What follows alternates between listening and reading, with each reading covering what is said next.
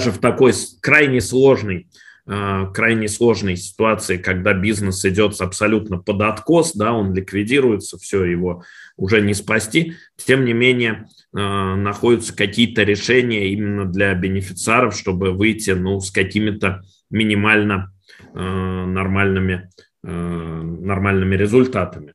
У нас в этом смысле тоже есть пример, тоже из строительной отрасли. Здесь можно вспомнить вот эту компанию, э, компанию которая э, была э, подрядчиком по строительству стадиона к чемпионату мира по футболу. Да? Помним все наш прекрасный чемпионат мира по футболу. Вот эти ребята, они строили стадион и не успели его вовремя построить. Понятно, это ситуация, во-первых, просто скандальная, во-вторых, соответственно, очень серьезные финансовые потери для организаторов, ну и дальше для э, компании, которая допустила эту просрочку. По э, данной компании э, их э, выполнение обязательств было обеспечено банковской гарантией одного из крупнейших банков. Соответственно, как э, толь, только они допустили просрочку, то банк выставил данную банковскую гарантию – Э, и э, стал основным кредитором в процедуре банкротства. Помимо банка в эту процедуру у нас сразу набежали еще э, большое количество кредиторов, как раз те самые субподрядчики, различные партнеры. Вот. И также нужно сказать, что в этой компании еще помимо всего прочего существовал точнее возник в момент как раз э, финансовых трудностей, возник э, конфликт между акционерами, э, да, что усугубило их ситуацию, то есть они не могли как-то договариваться и работать сообща. В данной ситуации мы, как адвокатское бюро, представляли интересы мажоритарного акционера компании, и его цель была понятно, не спасти бизнес, ликвидировать этот бизнес, поскольку спасать его не было ни смысла, ни возможностей, но, тем не менее, каким-то образом э, избежать для себя, по крайней мере, последствий в виде субсидиарной ответственности прежде всего на те огромные суммы, которые э, они были должны. Э, стратегия в данном случае э, была направлена на то, чтобы уже после того, как реестр был полностью сформирован, э, выкупить как раз вот тот самый мажоритарный пакет кредиторской задолженности, который держал банк да, через вот эту банковскую гарантию. Понятно, что переговоры шли крайне долго, это была очень сложная ситуация, но тем не менее Э, удалось э, выкупить этот пакет. И э, тут еще получилось, что хорошо, что как раз в этот момент была несколько изменена судебная практика в том плане, что отношение к различным аффилированным структурам поменялось в том плане, что у нас Верховный суд сказал, что если Э, выкупается задолженность даже аффилированной структурой, но уже после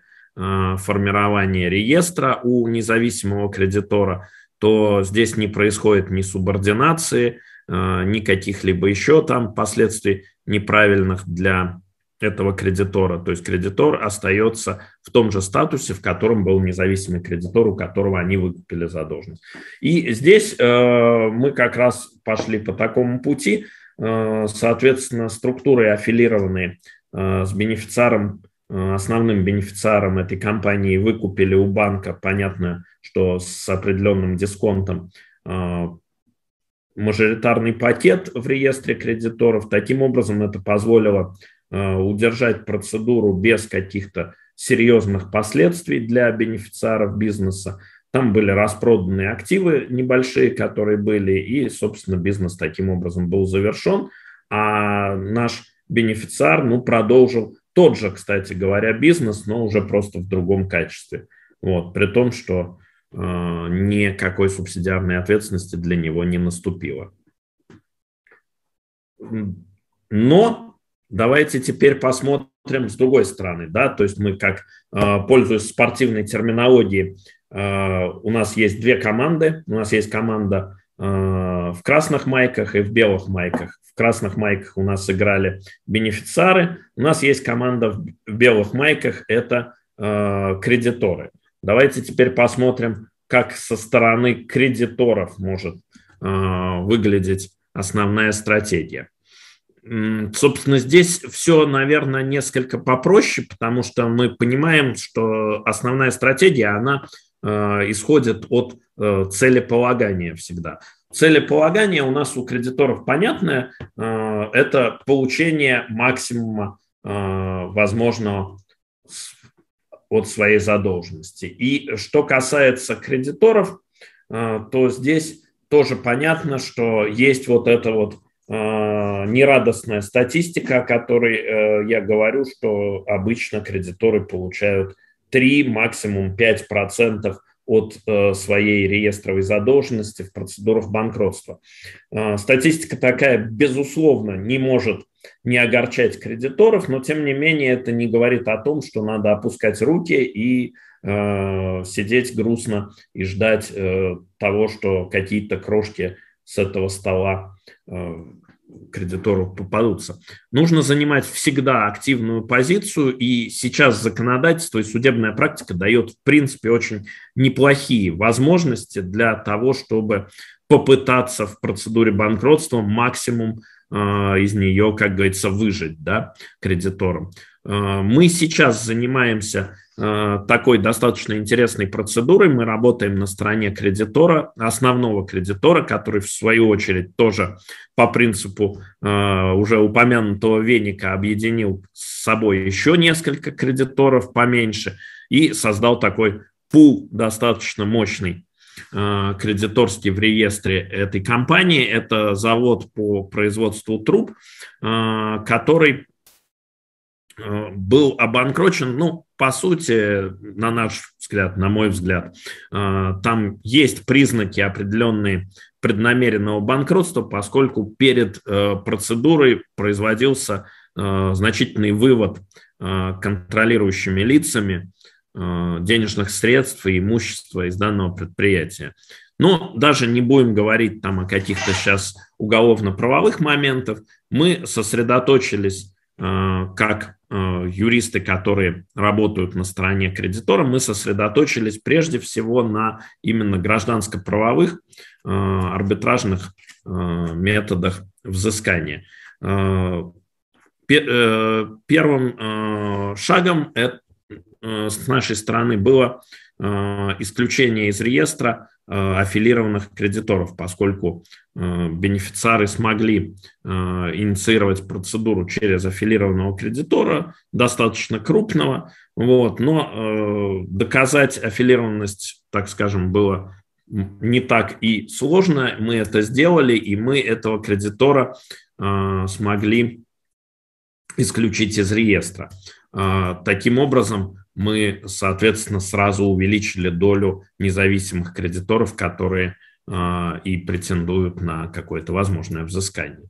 Дальше э, были, был проведен анализ, э, был проведен анализ э, документов, выписок по счетам прежде всего, поскольку менеджмент не передал никаких, никакой первички, вот, они все попытались спрятать но тем не менее понятно, что банки э, ведут себя добросовестно в такой ситуации и предоставляют информацию управляющему, а, соответственно, мы, как представители кредитора, могли дальше у управляющего получить эту всю информацию.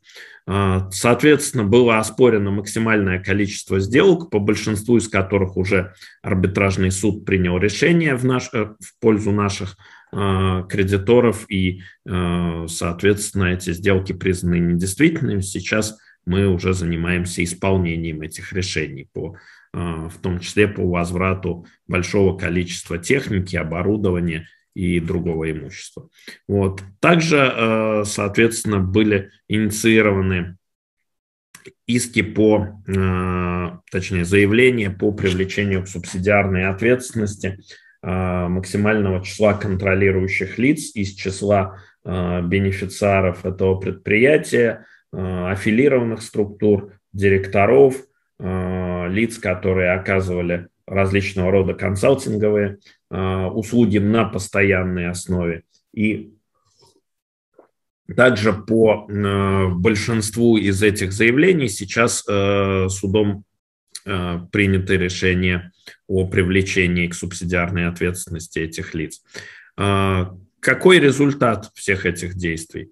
А, результат, собственно, вот буквально сейчас, а, вчера представители бенефициаров инициировали переговоры с нашим, с нашим основным кредитором. То есть они сами, так скажем, запросили мира.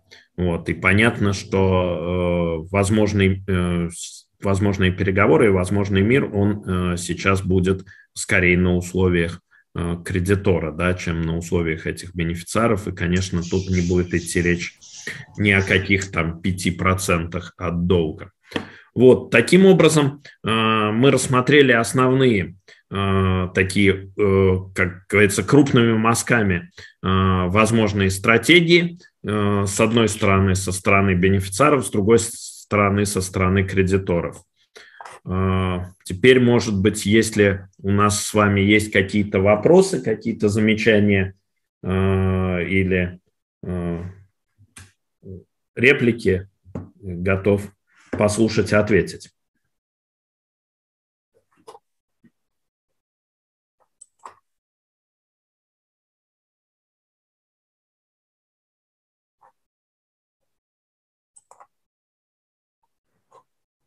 Так, ну, э, давайте так, тогда, если сейчас, наверное, вопросов нет, давайте мы перейдем э, чуть дальше и э, перейдем к вопросам на какой-то следующей стадии, да. Теперь, о чем хотелось сказать дальше. Это факторы, которые должны в обязательном порядке учитываться при формировании стратегии по делам о банкротстве. Причем эти факторы, они универсальные, они должны э, учитываться вне зависимости от того, опять же, за какую команду мы играем, белые и красные, э, кредиторы, бенефициары, мы все равно эти факторы э, должны всегда иметь в виду, и всегда, прежде чем мы формируем стратегию, они должны быть нам известны и должны учитываться.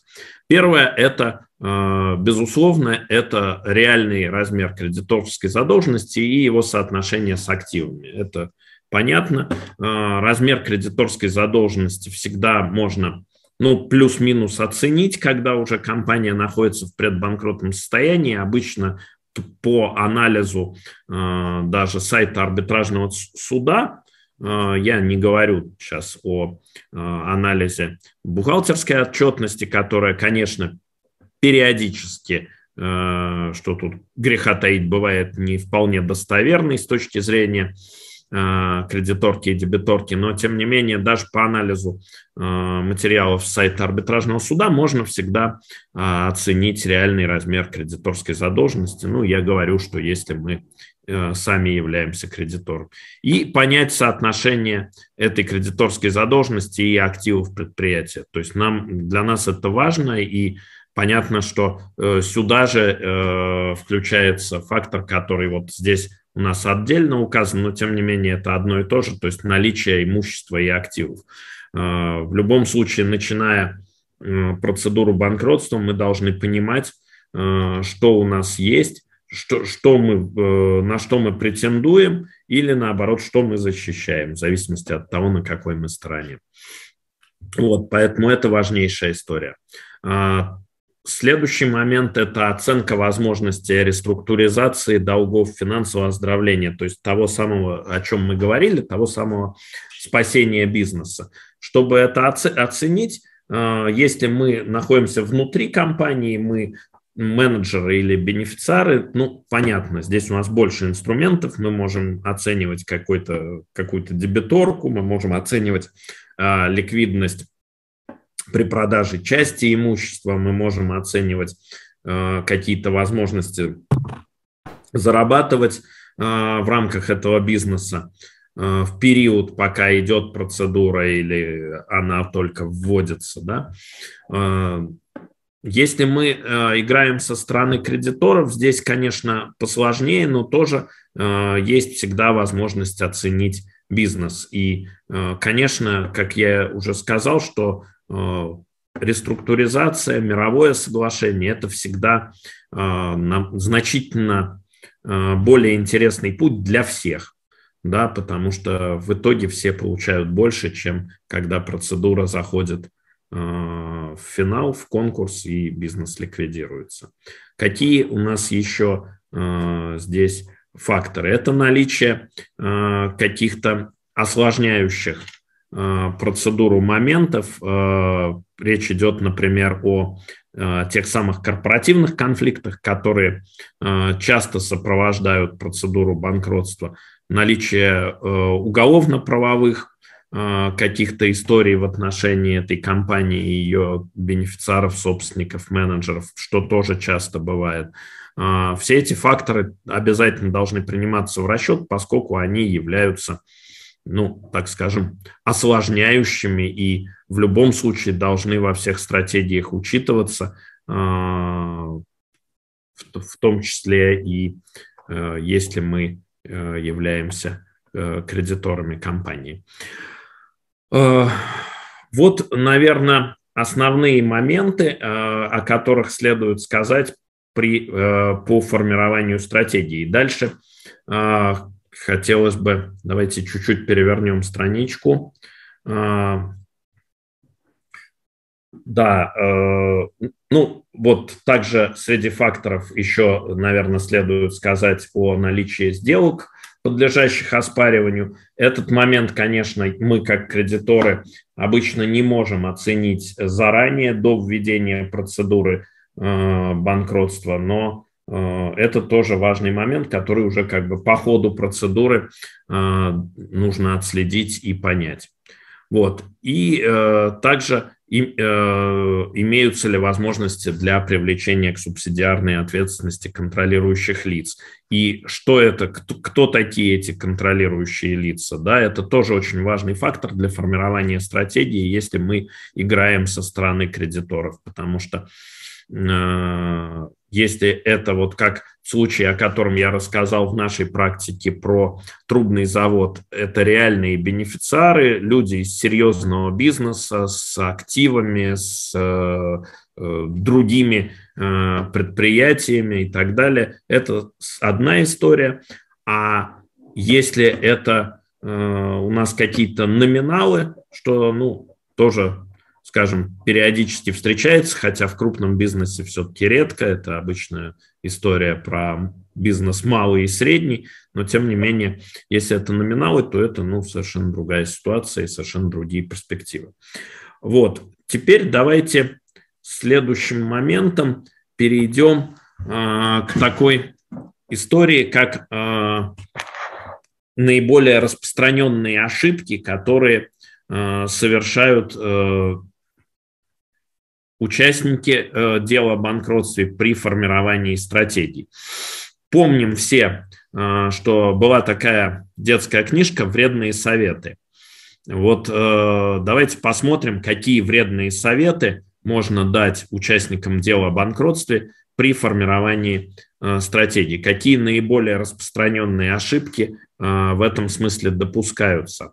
Давайте опять же посмотрим с точки зрения сначала бенефициаров и топ-менеджеров бизнеса, потом э, со стороны кредиторов. Э, ну, э, если начать, давайте презентацию чуть тоже дальше посмотрим.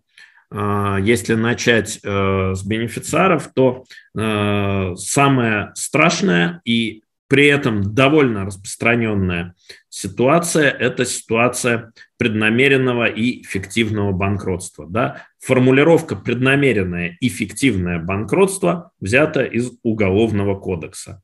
А, как мы все знаем, Уголовный кодекс надо чтить, поэтому а, когда а, бенефициары бизнеса при попадании в какую-то сложную ситуацию пытаются, наоборот, из этой сложной ситуации создать, а, создать ситуацию, когда они не платят э, своему кредитору, имея такую возможность физическую, а раздувают фиктивную кредиторскую задолженность и создают э, такую вот искусственное банкротство, да, искусственно раздувают эту задолженность. На самом деле э, эти истории, они сейчас все более и более, более и более в судебной практике подвергаются каким-то какому-то пересмотру, да, и если мы даже э, наши бенефициары не попадают напрямую э, в уголовные дела, хотя эти ситуации тоже стали достаточно э, часто встречаться, то как минимум э, все участники этих схем э, обычно привлекаются к субсидиарной ответственности, потому что все это, в общем, уже известно и изучено, да, ну, Поэтому нужно вести себя добросовестно, уголовный кодекс нужно соблюдать. Какой, какие еще ошибки допускаются? Э, следующий момент – это так называемая, можно назвать стратегией страуса. Да? Как, что у нас страус делает? Он в случае опасности он никуда не бежит, он просто прячет голову в песок. Так и многие наши э, прекрасные Э, бенефициары и генеральные директора тоже э, в ситуации наступившей уже неплатежеспособности, большого давления со стороны кредиторов, просто отпускают эту ситуацию, ничего по сути не делают и э, полагаются, ну, как говорится, на авось, то есть пусть оно идет как идет. Э, такая ситуация тоже для э, топ-менеджеров и акционеров не приводят обычно ни к чему хорошему. Почему? Потому что у нас статья 9 федерального закона 127 о несостоятельности напрямую говорит о том, что э, в этой ситуации руководители компании должны сами обратиться э, сделать публикацию сначала, да, как у нас сейчас э, на портале, а потом обратиться с, в суд с заявлением о банкротстве. Если они это не делают при наступлении э, признаков неплатежеспособности, которые у нас прямо указаны в федеральном законе, то в этом случае, соответственно, в этом случае, соответственно, они тоже привлекаются к субсидиарной ответственности, причем ну, здесь привлечение к субсидиарной ответственности э, презюмируется, да, то есть здесь существует презумпция, вот, что крайне тоже плохо сказывается в дальнейшем на этих лицах. Э, третий момент. Третий момент у нас это когда в преддверии банкротства начинается какая-то раздача денег, имущества, активов. Э, назвал бы это слабоумие и отвага, да, то есть э, когда наши э, акционеры, наши участники бизнеса понимают, что, ага, уже наступила неплатежеспособность, уже за нами стоит очередь кредиторов, точнее, к нам, мы не можем платить, давайте мы попытаемся спасти все, что можно, и э, начнем раздавать каким-то э, своим близким, приближенным компаниям или лицам э, все возможные активы. Эта стратегия тоже ни к чему хорошему не приводит, поскольку сделки в периоде один год до э, подачи заявления о банкротстве оспариваются вообще ну, по максимально жестким Э, правилам, и, по сути, э, любое удовлетворение требований одного кредитора при неудовлетворении требований другого э, влечет к признанию недействительной сделки. Соответственно, и сделки в трехлетнем периоде, они оспариваются, там более мягкие правила, но тем не менее, если мы говорим о сделках с аффилированными лицами, если мы говорим о какой-то безвозмездности, и, так, э, и так, э, как нерыночных ценах, то в этом случае эти сделки тоже подлежат оспариванию. Поэтому раздача имущества и денег накануне банкротства – это крайне плохая стратегия, которая ни к чему хорошему не приведет, кроме того, что сделки будут оспорены, и все контрагенты по этим сделкам, а часто еще и контрагенты контрагентов, тоже должны будут возвращать имущество или денежные средства в конкурсную массу. Да. Единственное, в данном случае, э, какие защищены выплаты. У нас это выплаты заработной платы.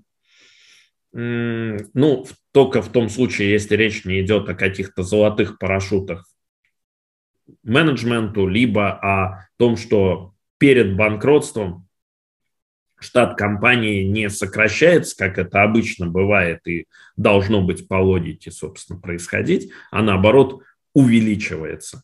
Вот. А, такие истории, они тоже могут быть оспорены, но если у нас идет обычная выплата зарплаты, то зарплату, понятно, никто с работников назад не попросит. Вот. Ну и аналогично решается вопрос с налоговыми платежами. Мы тут все понимаем, что государство – назад тоже свои деньги никогда никому не возвращает.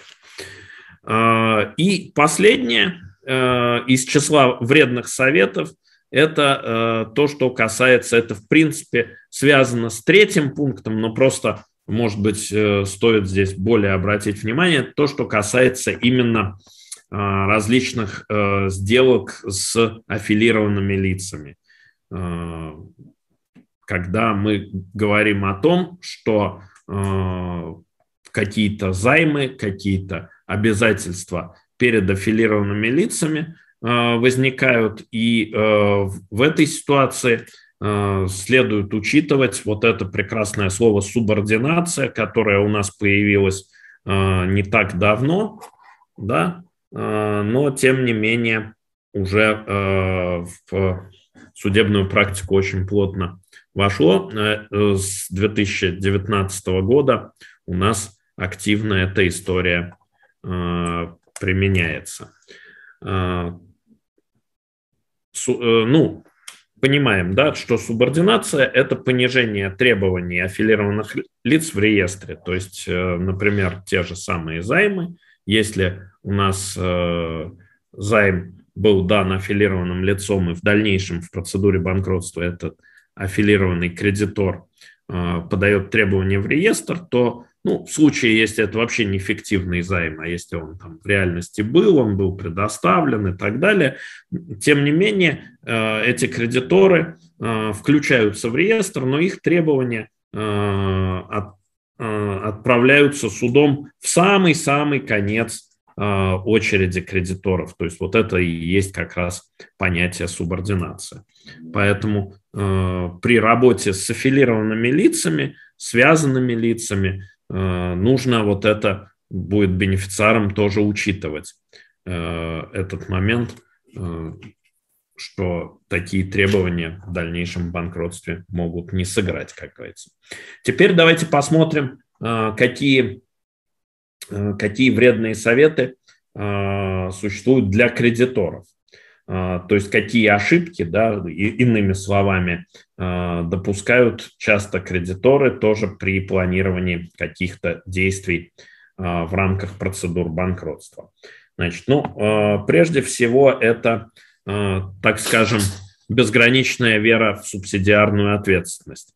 В последнее время, после 2017 года, когда была очень сильно модернизирована модернизированное положение э, закона о несостоятельности в части субсидиарной ответственности. Была введена э, целая большая глава, где были усилены эти нормы, и субсидиарная ответственность стала применяться значительно более широко, чем это было до 2017 года у, у многих э, юристов, финансистов, бизнесменов возникло такое ощущение, что процедура банкротства равно привлечение к субсидиарной ответственности контролирующих лиц. Ну, прежде всего, директоров и акционеров. Не будем там какую-то большую экзотику пока уходить.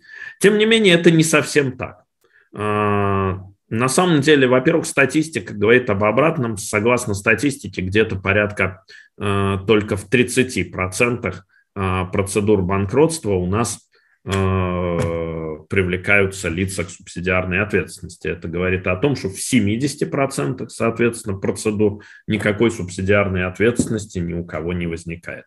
И это тоже не мудрено, поскольку э, помимо э, прямо указанных в законе презумпций, да, то, о чем мы чуть раньше с вами сказали, когда, например, существует презумпция субсидиарной ответственности в том случае, если директор не подал заявление при наличии признаков банкротства, не подал заявление о банкротстве компании. Ну, такая же есть презумпция, например, если тот же самый директор не передал э, предусмотренные законом, предусмотренные законом документы э, конкурсному управляющему. Да? Э, ну, помимо этих презумпций, если оснований нет, то субсидиарная ответственность все-таки возникает при наличии именно виновных действий. То есть если мы говорим о том, что Э, лица, управлявшие компанией, довели ее до банкротства, э, мы как кредиторы или э, тот же самый конкурсный управляющий, как представитель кредиторов, да, он должен доказать, что они действительно в этом виноваты. А мы понимаем прекрасно, что у нас большая часть процедур банкротства происходит в том числе и не по вине директоров и акционеров, а по каким-то ну, объективным плюс-минус обстоятельствам, касающимся экономики, финансов, действий государственных органов часто, каких-то внешних факторов и так далее. Вот, поэтому здесь э, я бы хотел сказать, что кредиторы не должны безгранично верить в то, что при процедуре банкротства они привлекут в обязательном порядке так называемых КДЛ, да, контролирующих должника лиц, к субсидиарной ответственности. А, этот э, процесс, во-первых, э, не быстрый, он занимает время. Во-вторых, он сложный, он требует э, подготовки, требует высокой квалификации тех юристов, которые должны этим заниматься. Вот. И э, в-четвертых, нужно понимать, что э, субсидиарная ответственность – это тоже не э, то, что наступит автоматом при проведении банкротства, а то, что нужно доказать именно в случае, если, ну, прежде всего в случае, если были какие-то недобросовестные действия со стороны этих КД. Второй момент, э, касаемый Э, действий кредиторов. Э, ну, опять же, это мы уже чуть-чуть сейчас уходим в область уголовного права, но, к сожалению, у нас все эти нормы, банкротные нормы, гражданские и уголовные, они часто переплетаются, да, особенно вот когда есть ситуация банкротства. И Второй момент, э, точнее, ну это даже не ошибка, я бы сказал, а это все-таки правонарушение. Э, ну, когда э, процедуру банкротства некоторые кредиторы пытаются использовать как попытку рейдерского захвата имущества должника. Да? Ну, здесь я бы даже слово кредиторы, наверное, взял в кавычки, потому что обычно это именно Э, создания какой-то фиктивной или полуфиктивной кредиторской задолженности. А, в нашей практике тоже есть такой пример, достаточно вопиющий, э, когда э, Государственный научно-исследовательский институт, процедура его банкротства, во-первых, идет беспрецедентное абсолютно количество времени, пер, первично она была введена в 2008 году и продолжается до сих пор. То есть, ну, представляете, 12 лет идет процедура банкротства. И э, суть этой истории в том, что некая, как говорится, группа лиц по предварительному сговору, э, имея э, на руках кредиторскую задолженность в 15 миллионов рублей, данного института. А институт, надо сказать, находится в Москве, в центре города, занимает значительный земельный участок, на котором, по-моему, порядка восьми зданий э, таких больших находится построенных в сталинское время. Э, то есть это актив, э, стоимость которого ну, исчисляется точно миллиардами рублей. И, в принципе, и в 2008 году она точно никак не равнялась 15 миллионам. Вот. Э, тем не менее, за эти 15 миллионов некие кредиторы, назовем их так, попытались, точнее, они инициировали и была введена процедура банкротства этого НИИ, после чего они пользуясь тем, что они единственные мажоритарные кредиторы, смогли быстро ввести э, конкурсное производство и попытались инициировать продажу вот того самого недвижимого имущества, ради которого это все затевалось.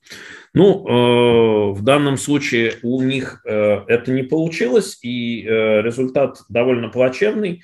Э, плачевный он э, прежде всего для э, того конкурсного управляющего, который занимался и был, видимо, в каком-то сговоре с этими кредиторами, на сегодняшний момент он сидит в тюрьме по приговору суда. Результаты аукциона, который был проведен по продаже имущества, отменены. Вот, поэтому здесь тоже нужно обязательно понимать, что у нас э, сейчас э, у нас сейчас и э, нормы законодательства о банкротстве, в общем, достаточно жесткие. Судебная практика уже отработала многие моменты в этом плане. Сейчас по сравнению там, с началом 2000-х уже процедура банкротства вряд ли сможет быть использована именно таким образом, как какой-то захват имущества. И это, конечно, безусловно, хорошо. Теперь э, давайте перейдем, наверное, к следующему этапу. Посмотрели, вот какие э, у нас есть вредные советы. И э, перейдем э, к следующему этапу. Посмотрим, э, к чему, собственно, должна приводить эта процедура банкротства. Какие хорошие э, исходы э, могут быть, да, то есть э, какой положительный результат может быть достигнут в результате процедуры банкротства. Да, как ни странно, у нее может быть положительный результат, о котором мы раньше чуть сказали. Сейчас посмотрим этот момент э, чуть-чуть повнимательнее.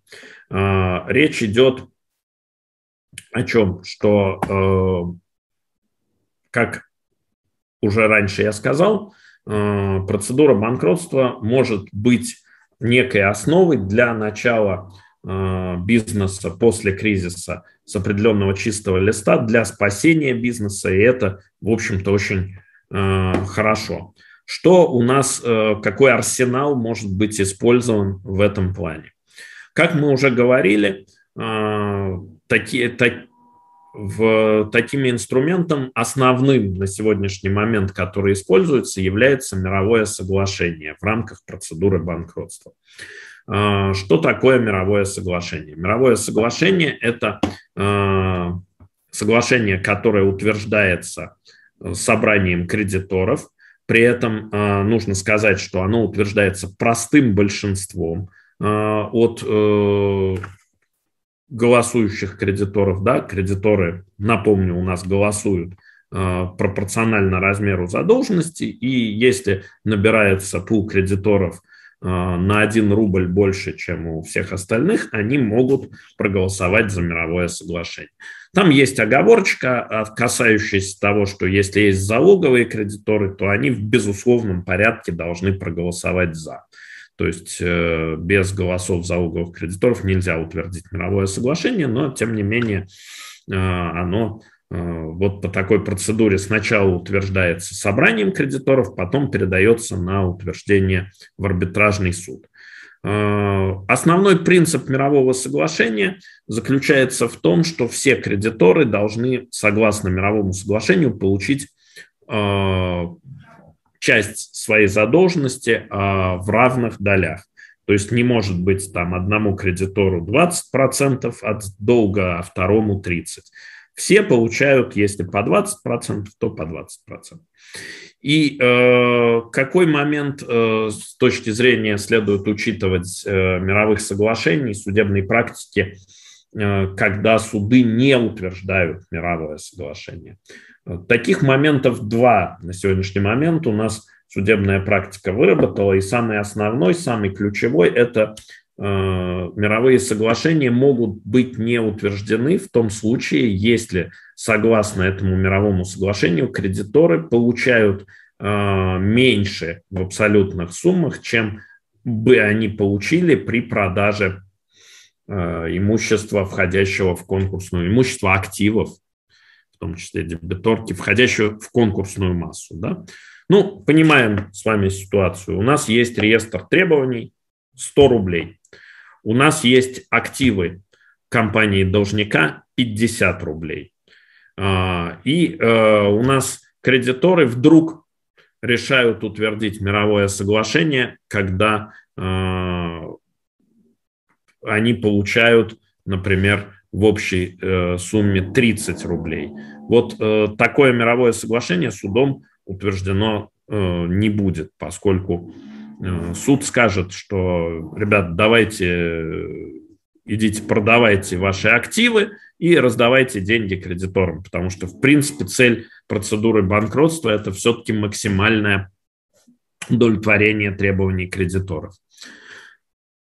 Одна ситуация. Вторая ситуация, которая более сложная и более похожа на некие оценочные суждения, это Э, в том случае э, суд может не утвердить мировое соглашение, в частности, в том случае, если условия этого мирового соглашения не отвечают принципам экономической обоснованности. Ну вот здесь мы так вступаем на такую э, почву оценочных суждений, да, которые у нас часто вот в налоговом в налоговых правоотношениях применяются добросовестность, экономическая обоснованность, вот это все такое немножечко расплывчатое. Ну, тем не менее, в той практике, которую вот мы изучали, когда суды отказывают по э, тому, что не соответствуют э, условия мирового соглашения принципам экономической обоснованности, там, в общем-то, критерии есть. И основные критерии – это сроки исполнения мирового соглашения, то есть э, и источники погашения.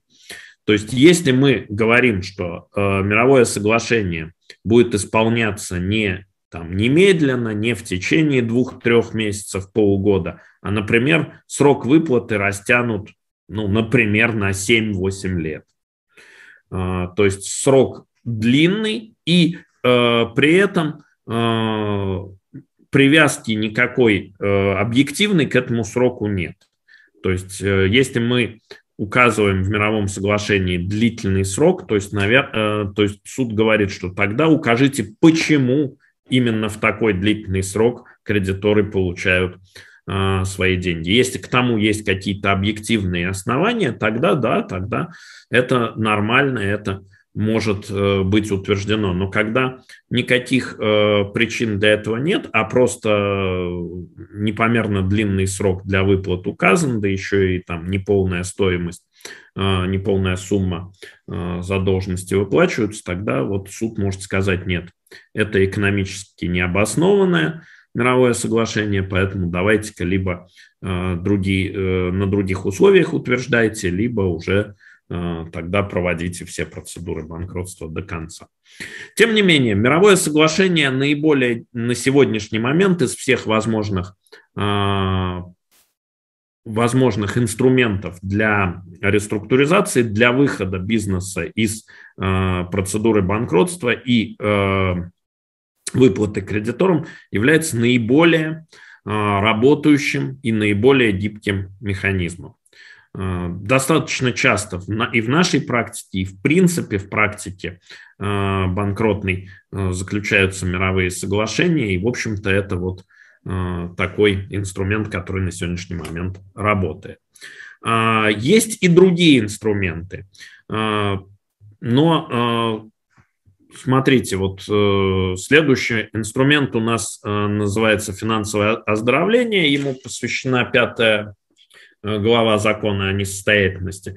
Но э, финансовое оздоровление вообще такой неработающий, такой мертвый, по сути, инструмент. Э, почему он мертвый? Ну, прежде всего, потому что не гибкий, потому что э, там э, все возможные условия загнаны в определенные рамки. Э, у нас есть максимальный срок, э, в течение которого происходит финансовое оздоровление, это три года. И в течение этих трех лет кредиторская задолженность должна погашаться должником, кредитором по графику, э, постоянно, равными долями, э, и должна быть э, не позднее трех лет погашена полностью. То есть здесь должники загнаны в такое определенное жесткое положение. У них нет возможности гибко подойти ни к суммам, ни к срокам, ни к условиям выплаты. Поэтому, собственно, финансовое оздоровление и практически не применяются. Вот по статистике 2019 года, в частности, из 85 э, тысяч э, процедур банкротства, которые велись в тот момент в России, э, финансовое оздоровление было применено в 21 деле да, то есть не в 21 тысяче, а в 21 деле из 85 тысяч. Ну, соответственно, понимаем, что процедура не гибкая, не работающая. А, следующий, э, следующая реабилитационная так называемая процедура – это у нас внешнее управление. Внешнее управление э, чуть более интересная история, чем финансовое оздоровление, хотя тоже на сегодняшний момент применяется нечасто.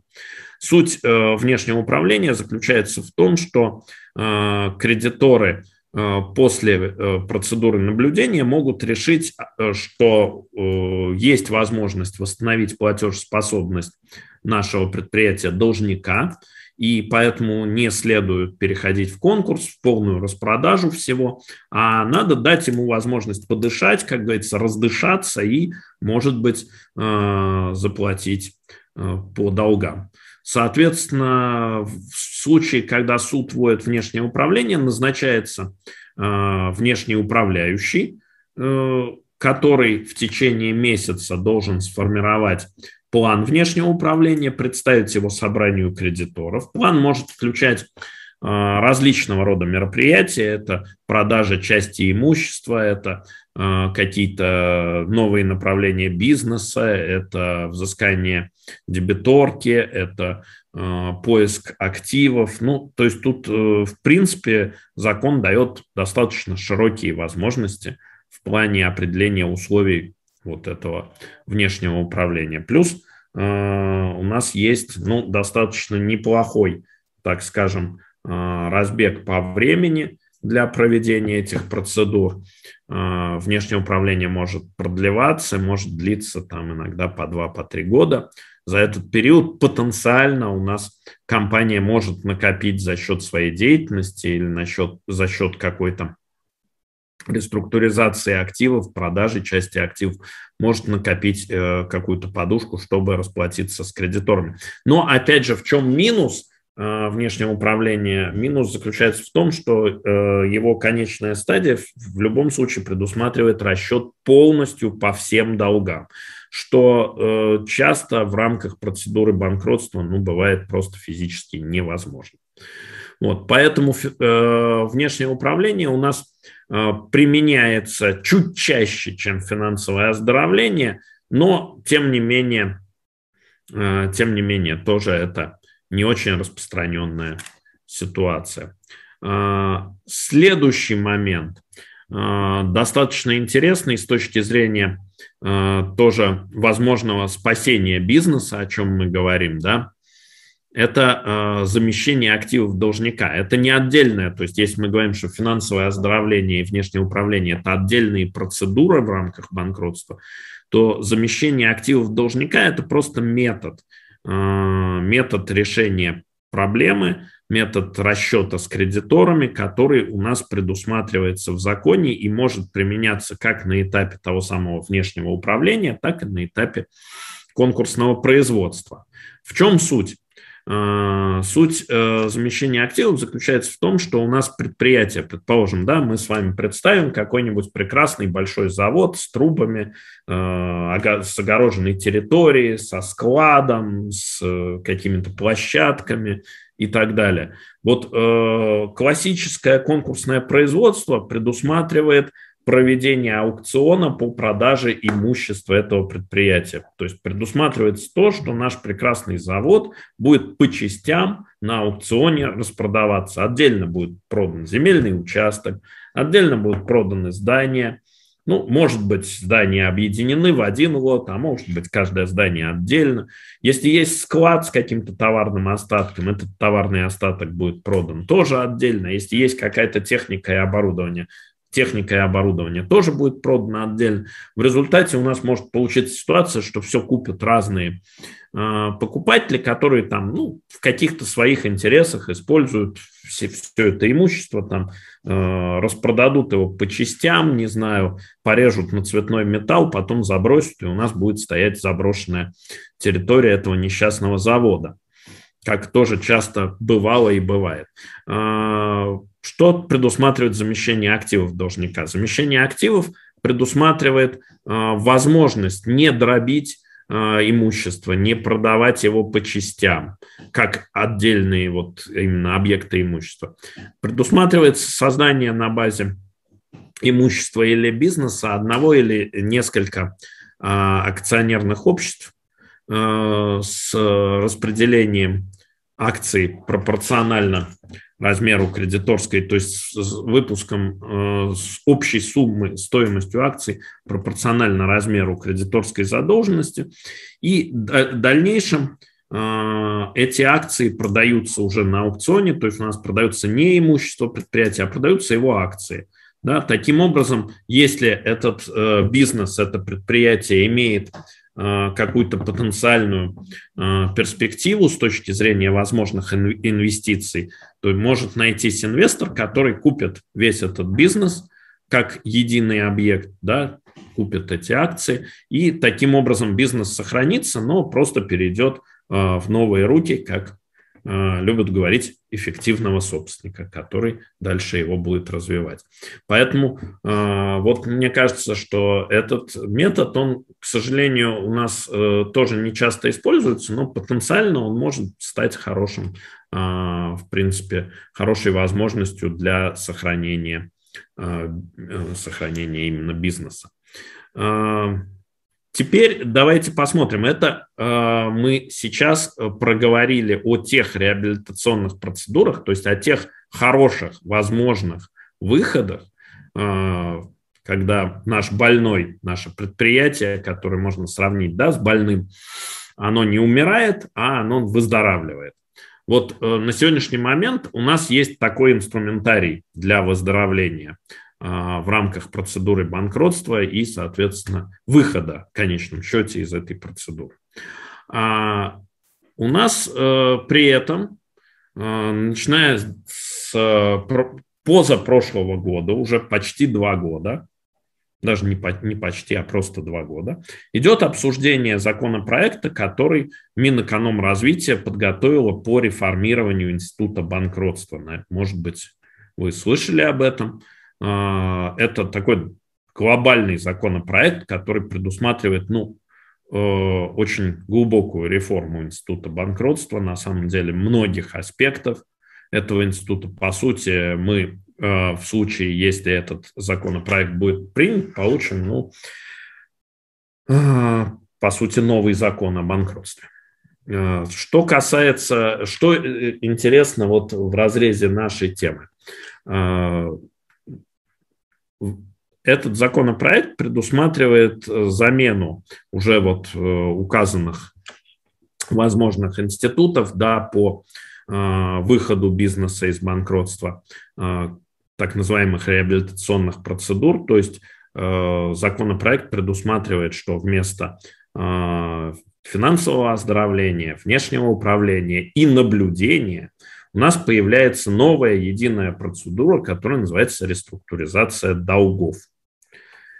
А, вот э, что касается этого института, то здесь следует сказать, э, я изучил достаточно внимательно законопроект, в том числе вот именно с точки зрения, потому что ну, интересно было посмотреть, как это э, будет работать, как авторы законопроекта предполагают, что будет работать этот институт.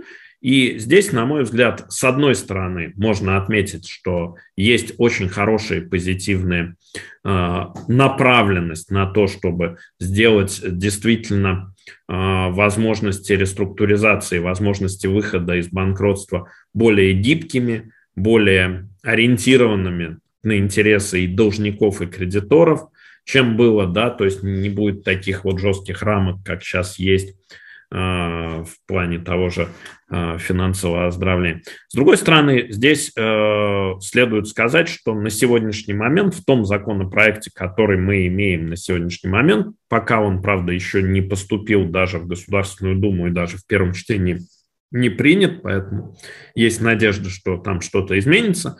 В этом законопроекте относительно реструктуризации долгов есть ряд э, историй, которые, ну, на мой взгляд, все-таки нуждаются в корректировках. О чем мы здесь следует сказать прежде всего? Прежде всего, два момента. Их там на самом деле не два, а побольше, но из ключевых их два. Э, первое – это то, что э, согласно э, пункту 6 статьи 48 Э, закона о банкротстве в новой редакции, реструктуризация долгов может быть введена, если представленные должником или иным э, лицом доказательства не позволяют сделать вывод о возможности или невозможности восстановления платежеспособности должника. То есть заявитель не может доказать, что платежеспособность восстановить невозможно, и в этом случае у нас вводится реструктуризация долгов. Вот эта формулировка, на мой взгляд, она просто ужасная. А, и она хуже, чем а, все то, что есть э, на сегодняшний момент в ныне действующем законе о банкротстве. Ну, давайте сами посудите, что э, сейчас есть э, совершенно четкие определения, при какой ситуации у нас суды должны вводить процедуру банкротства, а именно наблюдение, да, первую процедуру банкротства. Но у нас оговорено, что должен быть Э, такой-то долг, должны быть такие-то условия, такие-то сроки и так далее.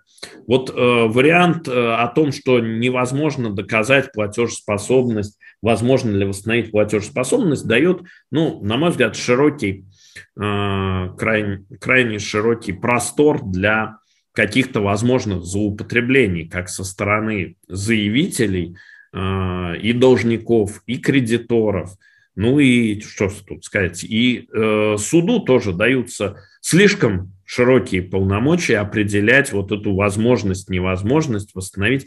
То есть здесь э, крайне неудачно, на мой взгляд, сформулировано э, вот это положение, при котором э, предполагается вводить реструктуризацию долгов. Вот. На мой взгляд, э, все-таки в законе такие вещи должны э, формулироваться максимально э, четко и конкретно. Это один момент. Второй момент очень интересный. Э, честно говоря, вообще, когда я почитал, мне стало интересно, кто это все придумал, и когда интересно, работали ли эти люди когда-нибудь хоть в какой-нибудь компании, в каком-нибудь бизнесе. Значит, в чем суть? На момент реструктуризации долгов по новому Э, законодательству предполагается выбор из четырех возможных форм управления предприятием на этот период. Давайте посмотрим, какие формы. Значит, первое э, – это сохранение полномочий э, руководителя, который существует, или избрание нового руководителя учредителями, участниками, акционерами. То есть, ну, по сути, модель, которая есть в наблюдении, сейчас, когда у нас сохраняются полномочия участников и сохраняются полномочия генерального директора как исполнительного органа, но при этом все эти органы, они действуют, безусловно, под контролем кредиторов и управляющего. Да? А, ну, сейчас он временный управляющий, здесь будет а, арбитражный управляющий по-другому называться, но суть остается та же самая. Окей, второй вариант – это возложение полномочий руководителя на, а, соответственно, антикризисного управляющего. Тоже понятная история, это то, что сейчас, э, собственно, действует в конкурсе или а, в том же самом внешнем управлении. Да, вот первые два варианта, они никаких вопросов не вызывают, они понятны и вполне допустимо, чтобы, например, собрание кредиторов и э, суд или только собрание кредиторов или только суд решали, э, какую из этих двух форм выбрать. Но, тем не менее, зачем-то авторы законопроекта в дальнейшем вводят еще две возможные формы управления предприятием. Это переход полномочия по избранию прекращения полномочий к собранию кредиторов или комитету кредиторов. То есть у нас получается какая-то ситуация, когда по сути будет управлять собрание или комитет кредиторов. Не очень понятная ситуация, то есть коллегиальность э, для, э, для э, управления предприятием, это ну, на самом деле не лучший способ. То есть напрямую э, могут какие-то да, стратегические решения у нас приниматься коллегиально, но э, управлять предприятием все-таки должен какой-то единоличный орган. Ну и самое последнее, это просто шедевр, на мой взгляд, это образование двух единоличных исполнительных органов должника, один из которых избирается учредителями, а другой собранием кредиторов ну, вы понимаете, да, то есть армия с двумя, с двумя генералами, с двумя полководцами, она никуда никогда не пойдет. Поэтому и также невозможно, тем более, когда стоит задача вытащить предприятие из кризиса, э, оно не может, на мой взгляд, никаким образом управляться двумя единоличными органами. То есть это, опять же, либо э, какое-то поле для Э, каких-то непонятных сговоров, либо это, ну, скорее всего, это просто неэффективно, это такое, такая возможность, которая непонятно зачем прописана. Поэтому, резюмируя э, этот момент, хочу сказать, что, э, скорее всего, э, рано или поздно э, реформа законодательства о банкротстве, она произойдет. Скорее всего, э, вот эта ситуация структуризации долгов, она тоже будет введена, и надеюсь, это будет хорошо, надеюсь, что это послужит э, тому, чтобы э, дать возможность бизнесу через процедуры банкротства, через как раз э, выработку стратегии в рамках процедур банкротства выходить из кризисных ситуаций и все-таки э, спасать бизнес, спасать активы, а, а не приходить к э, распродаже тотальной да, э, и ликвидации компаний. Поэтому в этом смысле это хорошо. Надеюсь, что это сохранится, эта тенденция будет развиваться. Но, безусловно, что э, тот, э, та, те формулировки, которые существуют в этом э, прекрасном законопроекте, они нуждаются все-таки э, во многих корректировках. Я очень рассчитываю на то, со своей стороны, что за тот период, пока этот законопроект э, будет приниматься, эти формулировки все-таки профессиональное сообщество и бизнес-сообщество, и э, организации арбитражных управляющих, в частности, э, юридическое сообщество, как-то примет участие в том, чтобы эти формулировки исправить. Вот. И тогда у нас, может быть, появится чуть больше возможностей для того, чтобы банкротство стало не, э, так скажем, э, не констатацией смерти, а наоборот историей про выздоровление бизнеса. Спасибо большое, готов ответить на вопросы, которые у нас с вами есть. Вот я смотрю, в чате есть вопросы, давайте мы сейчас попробуем, попробуем их открыть. Так, Два вопроса. Руководитель должника за рубежом. Компания уже пустая. В России поиск активов, процедура, стратегия. Второе. Внесудебная процедура банкротства. Спасибо. Значит, ну, давайте э, начнем с руководителем должника за рубежом. Э, здесь, э, здесь нужно нам с вами понимать, э, какая цель вот компания уже пустая, а это не совсем понятно. То есть, если э, мы понимаем, что у этой компании были какие-то активы, то здесь стратегия, безусловно, заключается все равно в том, чтобы вводить процедуру банкротства в отношении этой компании. Если компания, например, год как не сдает никакую бухгалтерскую отчетность, а, не проявляет себя ни в каких действиях, то может быть введена в отношении нее упрощенная процедура банкротства. Это банкротство так называемого отсутствующего должника. Это сократит расходы и сократит время на проведение процедуры да, для кредиторов, потому что очевидно, что кредиторы будут нести расходы по крайней мере, первоначальные по банкротству компании. И, с другой стороны, позволят, тем не менее, провести все те мероприятия, которые законом предусмотрены в такой ситуации, ну, например, в частности, оспорить сделки. Если мы знаем, что, например, эта компания никогда никакими активами не располагала, оспаривание сделок – соответственно, не является целесообразным. И единственная возможная опция здесь привлечение субсидиарной ответственности руководителя то э, тогда, наверное, следует пойти по пути так называемой внебанкротной субсидиарки, которая сейчас тоже у нас э, судебной практикой позволяется. То есть э, здесь порядок действий примерно такой. Мы готовим заявление о банкротстве компании от имени кредиторов, подаем, кредиторы его подают на этапе рассмотрения судом э, обоснованности заявление о банкротстве. Суд задает вопрос кредиторам, готовы ли кредиторы профинансировать дальнейшую процедуру банкротства. И кредиторы э, в суде заявляют, что они не готовы, не располагают должным объемом денежных средств, чтобы финансировать банкротство. Соответственно, производство по делу о банкротстве прекращается. Но дальше, сразу как только э, производство прекращается, у кредиторов появляется право подать на субсидиарную ответственность руководителя. Э, соответственно, это опять же экономия э, времени, экономия денег.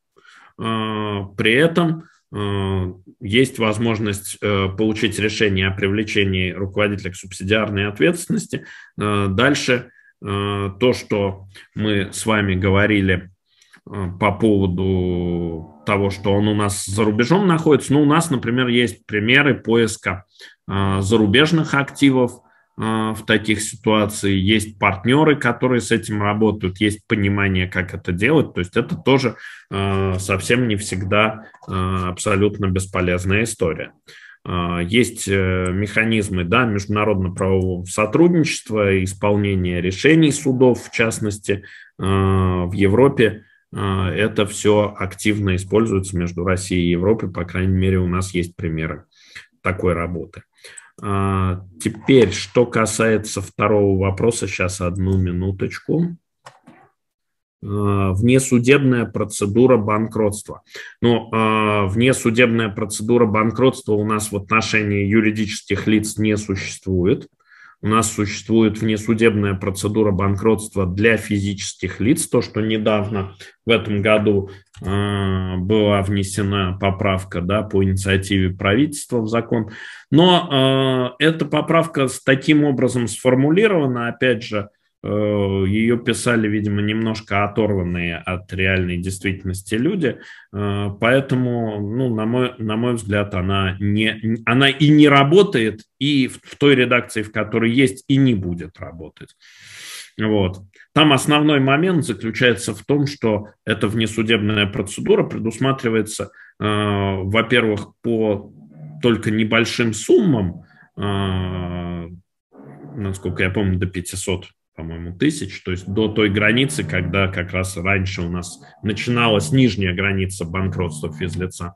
А главное, что она возможна только в том случае, если уже э, прекращены про исполнительные производства по э, взысканию. Ну, это все крайне такая редкая, сложная и э, мало применимая ситуация, поэтому здесь так. Так, запись, материалы. Так, э, Добрый день. У должника возникла задолженность по зарплате, по отступному. Он погасил эту задолженность имуществом, принадлежащим компании, естественно, в преддверии банкротства. По вашему мнению, является ли это фактической выплатой заработной платы? А, если мы с вами э, говорим о том, что это была задолженность по зарплате перед обычными работниками, если речь не идет о топ-менеджерах, о каких-то премиях отдельных, да, а это э, речь идет о регулярной выплате обычным работникам предприятия заработной платы. И э, поскольку э, была задолженность и э, возможности выплатить деньгами не было, было заключено соглашение об отступном, Э, то, э, на мой взгляд, да, эта ситуация является выплатой заработной платы, и, э, скорее всего, эта сделка, эта сделка никак не будет и будет отменена судом, даже если кто-либо из лиц ее оспорит. Следующий вопрос. Банкротство генподрядчика с нулевыми активами процедура введена аффилированным лицом мажоритарным кредитором. Всем известно, что создана идентичная строительная компания генподрядчик, которая работает с теми же заказчиками, что и должник. А, те же э, те, а, управляющие, те же лица. А, но участники офшора – это не первая их схема банкротства. По цепочке бенефициаров их их отследить. Но нам известны эти лица. Везде участники офшора. Посоветуйте, пожалуйста, с чего начать. А, начать в любом случае э, в банкротстве компании э, вам необходимо войти в реестр. Следующий момент. Необходимо обжаловать включение в реестр мажоритарного кредитора аффилированного лица. Значит, что касается вот этой ситуации, то сейчас у нас есть э, такая концепция, которая называется фактическая аффилированность. Она применяется судами, тоже были на эту тему судебные акты Верховного суда. Там было расписано, что такое фактическая аффилированность, поэтому даже если невозможно отследить прямую аффилированность за счет, например, тех же офшорных включения да, в цепочку владения э, тех же офшорных компаний, э, но есть признаки фактической аффилированности, а у нас сейчас э, практика очень разнообразна по доказательству фактической аффилированности. Там э, применяются ну, все, что угодно, там, начиная от переписки в различных мессенджерах, э, фотографий в соцсетях э, и так далее, и так далее. То есть плюс, ну, прежде всего, конечно, это э, доказательством фактической аффилированности является заключение сделок на каких-то недоступных для других условиях. То есть здесь Э, широкий, э, возможные, широкие возможности для доказательства фактической аффилированности существуют, и если ее доказать, то данного мажоритарного кредитора можно как минимум субординировать, как максимум исключить из реестра. В этом случае, как я понимаю, то есть если вы задаете этот вопрос, то есть вы, ваша компания и, может быть, какие-то другие независимые кредиторы, сможете объединиться и дальше уже а, привлекать а, к субсидиарной ответственности, во-первых, реальных КДЛ, потому что здесь так же, как с фактической аффилированностью, у нас есть возможность доказывать, что реальными э, контролируют, кто является реальными контролирующими должника лицами. Э, в том числе можно попытаться привлечь к субсидиарной ответственности и вот эту новую компанию генподрядчика, поскольку она тоже является аффилированным лицом и отчасти э, контролирующим лицом. Поэтому мне кажется, что здесь, в принципе, ситуация не Э, бесперспективная, э, особенно исходя из э, ныне действующей судебной практики. Единственное, что, ну, сразу скажу, это не быстрая история, то есть, конечно, нужно рассчитывать, что сама вот, так скажем, процедура раскручивания всей этой спирали займет, ну, где-то от полутора до двух с половиной лет. Но, в принципе, все делается. Так, так, так, так, так, так, это здесь же тоже отвечают. Ну, по сути, да. А, а как сейчас безопаснее ликвидировать компанию, если риски при продаже бизнеса, если у компании нет долгов? Ваше мнение. Ну, а, смотрите, а, что касается ликвидации компании. То есть ликвидация компании возможна двумя способами. Первый способ, он так и называется – ликвидация. И это когда у нас учредители назначают ликвидатора вместо генерального директора. Да, ликвидатор делает публикации, ждет кредиторов, подает промежуточный баланс, окончательный баланс. То есть это процедура, которая в законе э, прописана э, и э, которая называется ликвидация. Эта процедура, ну, честно скажу, то есть что тут, э, опять же, греха таить, она подходит обычно для тех компаний, которые либо не вели активной деятельности, либо, ну, э, скажем так, вели ее крайне аккуратно, законопослушно и э, соблюдали налоговое законодательство во всех, во всех аспектах. Потому что э, обычно у нас по ныне действующей практике э, ликвидации сейчас почти всегда сопутствует выездная налоговая проверка. Если вы уверены в результатах, э, э, если вы уверены в результатах, Э, выездной налоговой проверки, что вам не насчитают какие-то долги, тогда нужно идти по этому пути. Если же у компании есть э, задолженности, то второй возможный путь ликвидации – это как раз процедура банкротства добровольного, когда на банкротство подает сама компания. Вот. Что касается продажи бизнеса, э, то это не способ ликвидации, да, нужно понимать. То есть такой ликвидации, продажи бизнеса нет. Что произойдет с компанией после продажи бизнеса, если это продажа бизнеса, ну, каким-то, не знаю, номиналом, э, трудно сказать. Единственное, что в любом случае при такой продаже нужно очень четко в договоре фиксировать э, момент передачи документов, э, момент э, передачи э, активов, если они есть, момент того, какое финансовое состояние у компании, ситуацию про ответственность, э, распределение ответственности. Э, то есть вот эти все моменты должны очень хорошо быть в договоре купли-продажи отфиксированы. Так, где грань между недобросовестными действиями руководителя, повлекшими банкротство, и предпринимательскими рисками? А, грань а, на самом деле очень тонкая. И здесь как раз вот э, на эту тему э, было очень э, много дискуссий в том плане, что действительно, особенно вот в 2020 году, в силу ну, всем нам известной и понятной ситуации с пандемией, с локдауном, Понятно, что очень у многих компаний возникли большие финансовые трудности, проблемы с э, клиентами, со сбытом и так далее, и так далее.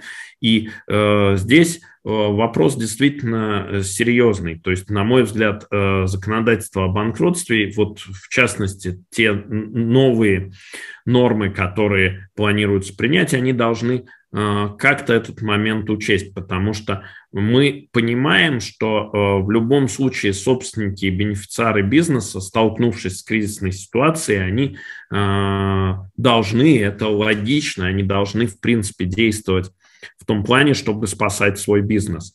Но, к сожалению, существующая практика часто идет по тому пути, вот о чем я тоже говорил, что какие-то действия Э, например, займы, которые эти э, бенефициары будут давать своему бизнесу. В случае, если э, эта история не приведет к успеху, по крайней мере, быстрому, и потом будет введена процедура банкротства, все эти займы, они все в лучшем случае субординируются, в худшем случае вообще не будут включены в реестр, соответственно, ну, как бы будет считаться, что бенефициар спасает свою компанию исключительно на свой страх и риск, и э, у него никаких шансов что-либо получить уже назад никогда не будет. Э, поэтому здесь вопрос важный, вопрос серьезный, и я думаю, что и законодательство, и судебная практика должны выработать в этом плане какие-то совершенно четкие нормы, потому что на сегодняшний момент этот вопрос, вот он до конца э, все-таки не урегулирован. Очень часто Э, предпринимательский риск. То есть э, создается система, когда бизнесмену нет целесообразности идти на этот риск, вот, э, потому что потом это может быть для него же хуже.